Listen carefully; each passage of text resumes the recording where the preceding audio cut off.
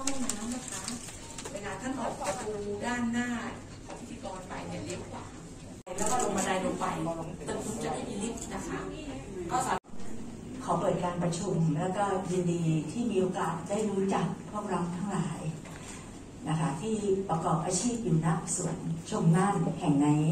ก่อนอื่นก็อยากจะเล่าถึงที่มาที่ไปของทำไมหมอนวดจึงมาอยู่ที่สวน ชมน่านให้ฟังก่อนนะคะ สวนชมน่านเนี่ยเป็นสวนที่ทางเทศบาลเนี่ยเอาใช้ที่สาธารณะมาปรับปรุงให้เป็นแหล่งพักผ่อนหย่อนใจของพี่น้องประชาชน สมัยโน้นเนี่ยเรียนทำงานอยู่กับประสานความสัมพันธ์เกี่ยวกับทางสาธารณสุขจังหวัด ก็คือเราทำหลักประกันสุขภาพแห่งชาติกัน ตอนนั้นนโยบายของท่านนายแพทย์สาธารณสุขจังหวัดเนี่ยท่านมีนโยบายจะเปิด แหล่งอะไรคะหมอนวดในสำนักงานสาธารณสุข ท่านก็มีการอบรมหมอนวด เพื่อเอามาใช้ในสถานพยาบาลของท่านนั่นแหละค่ะทีนี้ช่วงนั้นเนี่ยพออบรมเสร็จแล้วเนี่ยเนื่องจากรับหมอนวดไม่หมด รับหมอนวดไม่หมดนะคะ ก็เหลือหมอนวดอยู่มันสิบกว่าคนยี่สิบคน ท่านก็เลยบอกว่า ผมไม่มีไม่รู้จะเอาหมอนวดที่ผมอบรมเนี่ยเอาไปไว้ไหน ท่านก็บอกว่าท่านนายกเอ่อด้านหน้าของสาธารณสุขซึ่งเป็นที่ว่างตรงเนี้ยผมขอให้หมอนวดที่ผมอบรมเนี่ยได้มีอาชีพ เอาลงตรงนี้หน่อยได้ไหม ประมาณนั้นนี่คือที่มาในขอมือหน่อยว่า ใครเป็นหมอนวดรุ่นแรกที่เมื่อเกือบ20 ปีที่แล้วยกมือแอบนะอบรมมาจากสาธารณสุขใช่ไหมอบรมว่าที่ภาคเก้าครับอ๋อเหรอคะคือคืออย่างนี้ จะลักษณะการเกิดเกิดอย่างนั้นก่อนนะคะ เมื่อก่อนนี้ก็มีแค่สิบกว่าคน นี่คือเป็นการแบ่งเบาภาระของสาธารณสุขทีนี้ถ้าถามว่าเรื่องของอาชีพหมอนวด ผู้ออกใบอนุญาตหรืออะไรทั้งหลายที่ตรงเนี้ยจะเป็นสาธารณสุขจังหวัดนะคะเป็นสาธารณสุขจังหวัด ทางสาธารณสุขมาเป็นคนดูแล นี่เราก็ถือว่าถ้าสาธารณสุขส่งมาเนี่ยเราก็ถือว่าสาธารณสุขได้ควบคุม นะคะ ก็เปิดพื้นที่ตรงนั้นให้ สมัยก่อนไม่เยอะอย่างนี้นะคะไม่ได้เยอะอย่างนี้ แต่ตอนหลังมาเนี่ยก็มากันเยอะขึ้นเยอะขึ้น ก็จนมามีลักษณะอย่างปัจจุบันนะคะ ก็มีการคุยกันกับสาธารณสุขว่า ต่อไปเนี่ยหมอนวดตรงนี้ใครจะเป็นคนดูแล ใครจะเป็นคนดูแล เมื่อก่อนนี้มาอาศัยที่ของของเทศบาลแค่นั้นเองนะคะ เราก็ให้ที่ไปทางสาธารณสุข ก็น่าจะเป็นคนดูแลกวดขันเรื่องใบอนุญาตเรื่องของการอ่ออ่าอะไรอย่างเงี้ยนะคะเขาก็จะเป็นคนดูแลตรงนั้น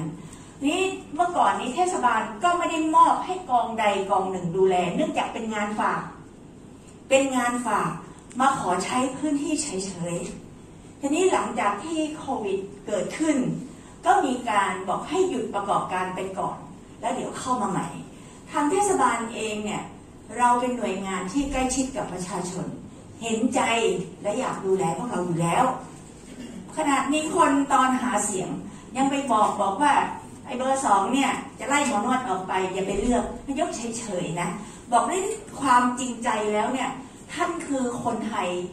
เรามีหน้าที่ต้องดูแลซึ่งกันอยู่แล้วไม่ได้เคยมีความคิดอย่างนั้นนะคะ ก็เลยมาถามกันดูว่า สรุปแล้วถ้าเราจะเปิดตรงนี้ให้เป็นสถานที่แหล่ง นวดโดยร่วมมือกับทางสาธารณสุขต่อไปเนี่ยหน่วยงานใดของเทศบาลจะเข้ามาดูนั้นเข้ามานั้นถามว่าใครดูไม่มีใครรับผิดชอบนะ สวนก็บอกมาขอยืมสวนเฉยๆเทศกิจก็บอกผมไม่ได้ดูนะ มาตรวจดูความเรียบร้อยเฉยๆอะไรประมาณเนี้ยถามว่าสาธารณสุขบอกสาธารณสุขก็ไม่ใช่ สาธารณสุขก็ไม่ได้ทำหมอนวดตรงนี้จะเข้าจะออกพวกเราก็ไม่เคยมาถามเทศบาล อยากเข้าก็เข้าอยากออกก็ออก เราก็นึกว่าสาธารณสุข ดูแลอะไรประมาณอย่างเงี้ย ก็เลยเรามีการมาจัดระเบียบกันว่า ถ้าหมอนวดจะอยู่ตรงนี้ต่อไป อยู่กับเทศบาลต่อไป อยู่ภายใต้โครงการอะไรทำไปทำมาเราก็มาได้ข้อสรุปว่า ต้องเป็นเรื่องของการส่งเสริมอาชีพท่านก็เลยบอกว่าถ้าเป็นเรื่องของการส่งเสริมอาชีพ ต่อไปนี้ หมอนวดที่อยู่ในสวนชมน่านก็จะมีคนดูแลละ คนดูแลที่ทางเทศบาลจะมอบให้ ก็คือกองสวัสดิการสังคม ซึ่งปัจจุบันนี้ก็มีท่านผอธีรพัฒน์เป็นผอนะคะรู้จักแล้วใช่ไหมค่ะ ต่อไปกองสวัสดิการสังคมนะคะจะเป็นผู้ดูแลในฐานะที่เราส่งเสริมอาชีพ ดูแลผู้ประกอบการให้มีอาชีพทำจากที่เข้าเข้าออกออกหรือประมาณอย่างนั้นนะคะ แต่การดูแล ก็ต้องมีเรื่องราวของที่ถูกต้องอะเขาก็คงจะมีนะคะภายใต้ระเบียบกฎเกณฑ์อะไรเดี๋ยวทางกองสวัสดิการสังคมนะคะ ก็จะมาอธิบายให้ฟังคนบอกว่า คนนี้มาฉันก็อยากมาบ้างฉันต้องทำอย่างไร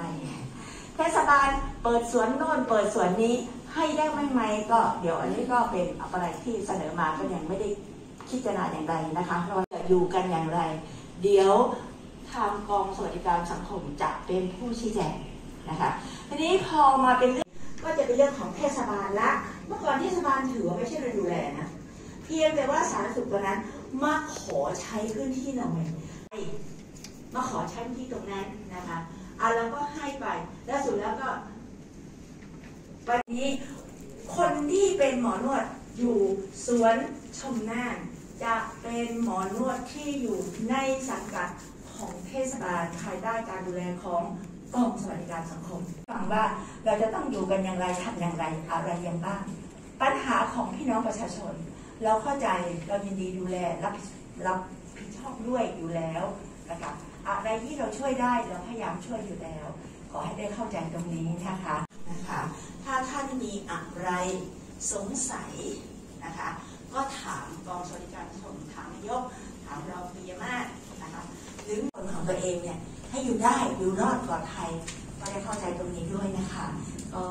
ขอขอบคุณอีกครั้งหนึ่งหวังอย่างยิ่งว่าเราคงจะได้ร่วมงานกันต่อไปนะคะ สวัสดีค่ะ